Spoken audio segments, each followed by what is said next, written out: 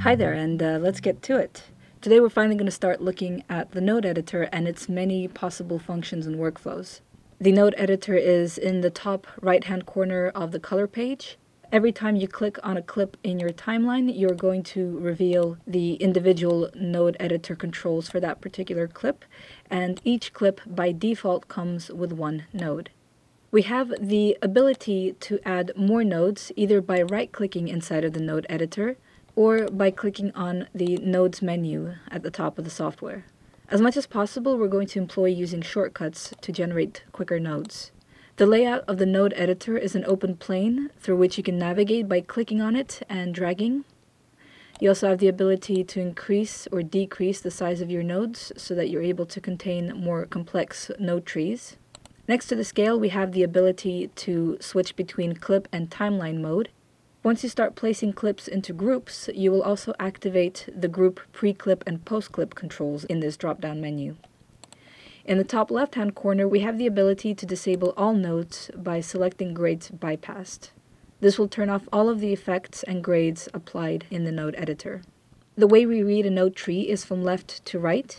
The very start of the node tree is your source input. This is where your original video data enters and is then linked to the RGB data of the first node. You can do anything you like on this first and all the subsequent nodes, but in the end, you're going to be outputting this RGB data to the source output. If any of the links are broken, any of the changes that you've applied inside of the node editor will fail to appear in the final render of your footage. A single node represents an instance of your clip with any number of palettes, grades, or effects applied to it. One of the reasons we might want to work with multiple nodes is if we don't want our grades to interfere with each other or if we want to isolate parts of the image in order to start combining different grading techniques. It's an extremely powerful compositing tool that gives you full control over how the clip is affected and output. So we're going to be looking at arranging and combining the nodes in many different ways as well as sharing their key data.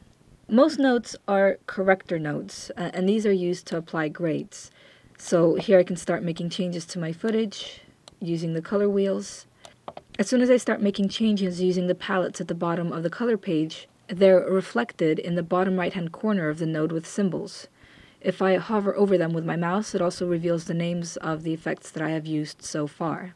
In the top left, I have the number of the node, which I can use to enable or disable the node on its own. Or I can right click on and add a label I can add another basic corrector node after or before this node by clicking Alt-S or Shift-S. This will drop a serial node which will have the same corrector properties. And once again I can add a label and add more effects. Each node comes with two inputs and two outputs, represented as green dots and blue triangles. The green dots refer to RGB data, so this is the visible portion of the image. The blue triangles are key channels or alpha channels that define the transparency of a node.